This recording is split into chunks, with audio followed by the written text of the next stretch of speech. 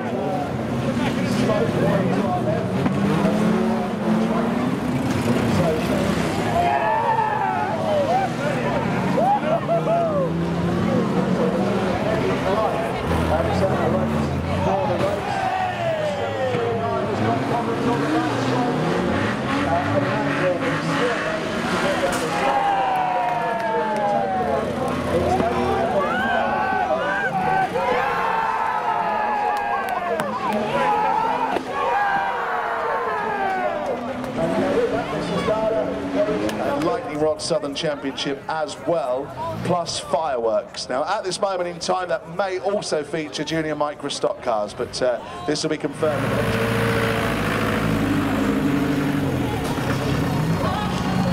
Good.